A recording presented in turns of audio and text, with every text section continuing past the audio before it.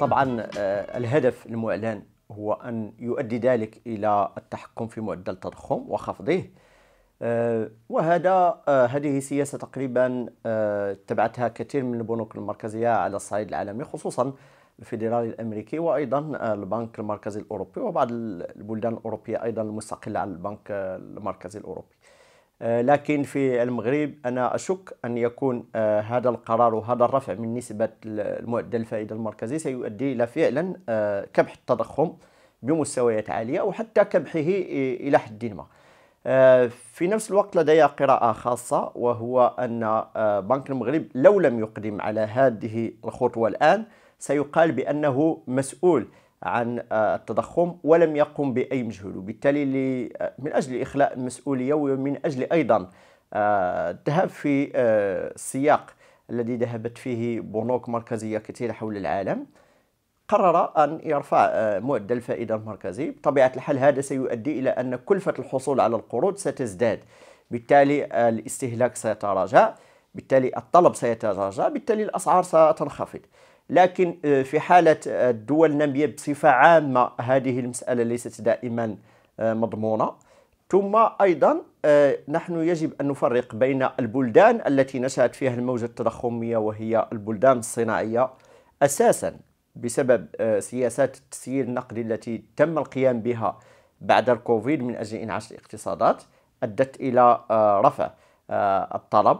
أدت إلى آه، خلق كثير من الوظائف. بالتالي فالأسعار آه، ارتفعت. وأيضا هناك أيضا ما يتعلق بارتفاع أسعار الطاقة ارتفاع آه، كلفة الشحن على المستوى الدولي. هناك عوامل كثيرة.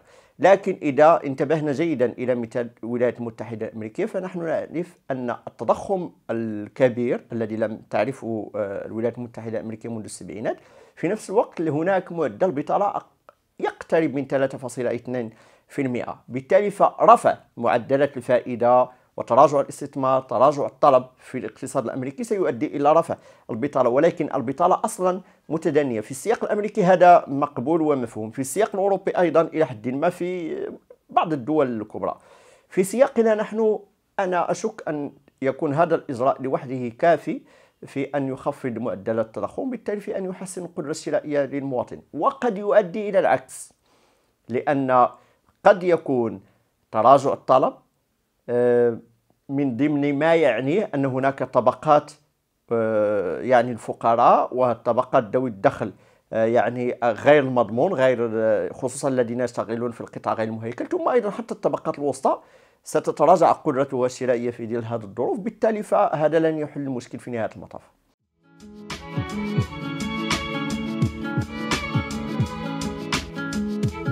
طبعا آه، أي تراجع للنمو الاقتصادي آه، يهدد الاستقرار الاجتماعي سواء لما يكون معدلات التضخم منخفضة ولكن يهدده أكثر لما تكون معدلات التضخم مرتفعة لأن هناك هذا يدل على شيئان.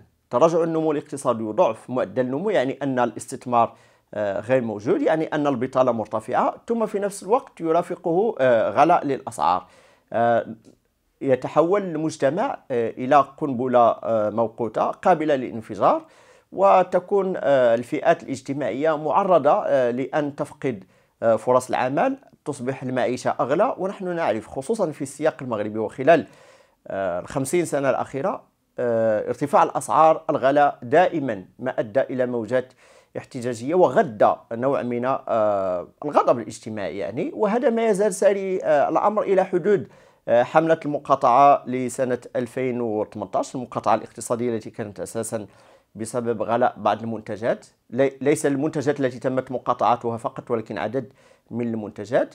هناك أيضا آه، في سنة 2011 2012 آه، هناك بعد الأزمة أزمة 2008 حدثت موجات تضخم ولكن في المغرب متحكم فيه. ثم هناك موجات تضخم التي حدثت في بداية الثمانينات نهاية الثمانينات بداية التسعينات. كلها آه، أدت إلى قلاقل اجتماعية. بالتالي فالتضخم الذي يجت... الذي يرافقه آه، نمو ضعيف وبطالة مرتفعة في المغرب دائما يهدد الاستقرار الاجتماعي.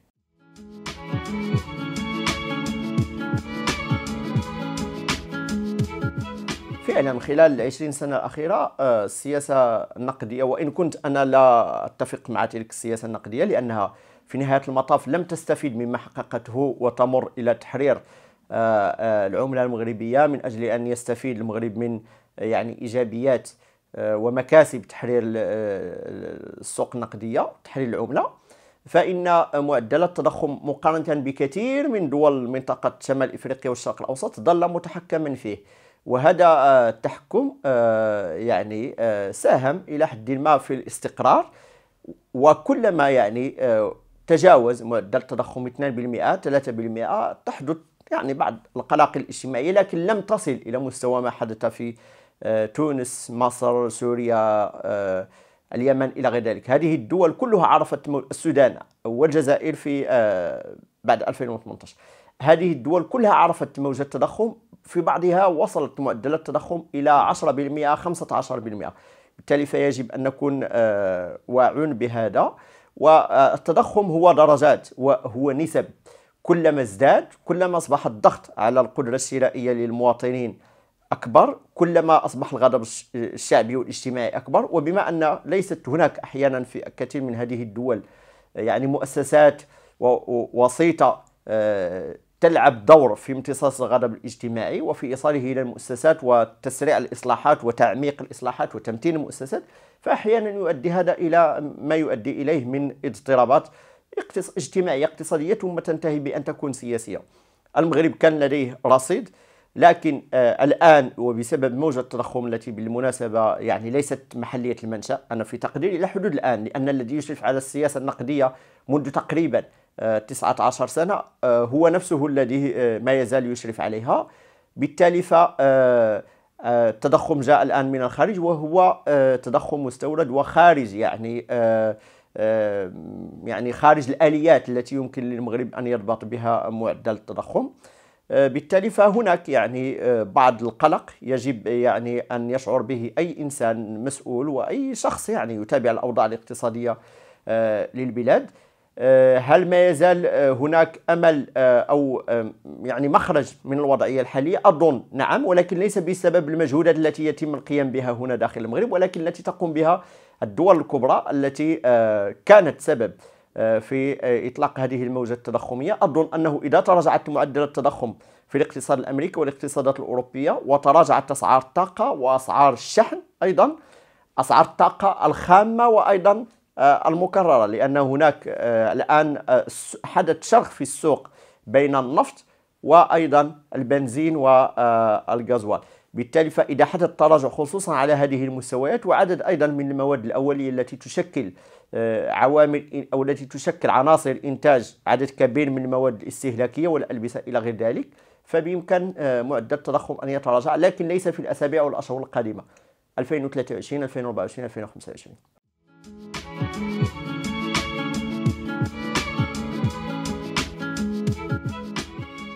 آه الأمر مفتوح على مجموعة من الاحتمالات.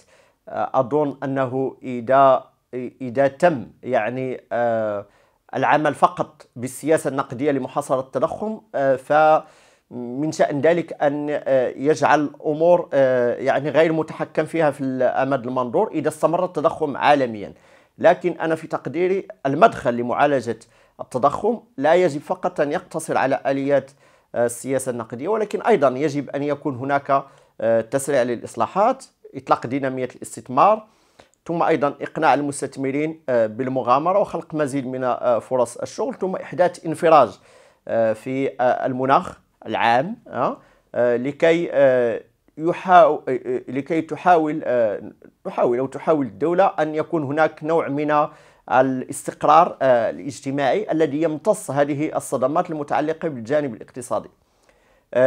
لحد الآن يتم التفكير فقط في حلول السياسة النقدية لكن أظن بأن الدول مثلا إذا لاحظنا الولايات المتحدة الأمريكية قامت بكثير من الأشياء فهي ترفع معدل الفائدة المركزي تضغط على البلدان الخليجية لكي تغرق الأسواق بالنفط لأنها تعرف بأن تراجع أسعار الطاقة سيؤدي إلى تراجع أسعار عدد كبير من المواد. في نفس الوقت تطلق برامج آه، للاستثمار. أيضا تطلق آه، برامج للإبداع وللخلق والابتكار آه، في قطاعات خصوصا التكنولوجيا الحديثة. في نفس الوقت أيضا تشجع المستثمرين الأجانب وحتى شركاتها التي كانت في الخارج كي ترجع إلى الداخل. بالتالي فهناك مجموعة من العوامل ومجموعة من الجبهات يجب التحرك عليها. من أجل يعني ليس خفض معدل التضخم ولكن مساعدة أحيانا المواطنين على أن يتعايشوا على مع هذا التضخم لأن التضخم لما يأتي هو يكون ضيف ثقيل ويبقى في البلد آه، لمدة معينة. هناك بعض البلدان بالمناسبة في المنطقة في الشرق الأوسط وشمال إفريقيا آه، تركيا نموذجا معدلات التضخم فيها عاليه جدا لكن لم تصل إلى آه، مستويات الاحتقان الاجتماعي. لماذا؟ لأن هناك قطاعات إنتاجية تشتغل وفرص عمل ومعدل البطالة إلى حد ما غير عالي ثم أيضا دخل يتم في كل مرة تحسينه مقارنة مع ارتفاع معدل التضخم بالتالي فالتضخم حتى الاقتصادات الكبرى مرت الصناعية الكبرى مرت بفترات تضخم لكن إذا كان هناك آه، يعني الاقتصاد والديناميه الاقتصادية تشتغل فمن آه، الممكن يعني أن يتم التعايش مع هذا التضخم في أفق القضاء عليه. في نهاية المطاف فهو التضخم نوع من الضريبة يدفعها أي شخص لديه قطعة نقدية في جيبه. فكلما كان التضخم 1% يعني أن 1% من هذه القطعة يتبخر. تصور إذا كان 10% يعني 10% يتبخر لأن لم تعد لها نفس القيمة في الواقع. لم تشتري نفس لا تشتري نفس كمية السلع بالتالي فمن طرق آه، مواجهة آه، هذا التضخم هو أن دخل الناس يتحسن لكن ليس عن طريق التسيير النقدي ليس عن طريق طباعة النقود ليس لا ليست هذه الطرق ولكن إعطاء دينامية للاقتصاد فتح الاقتصاد التحرير آه، ثم أيضا آه، يعني إرجاع الثقة لكل مؤسسات للمواطن آه، في كل مؤسساته السياسية والاقتصادية والإدارية لكي يكون يعني أكثر أمل وأكثر ثقة في في اقتصاد البلد وفي المستقبل وكي يكون مطمئن وكي يشتغل وينتج ويضيف يعني يخلق قيمة مضافة في داخل النشاط الاقتصادي.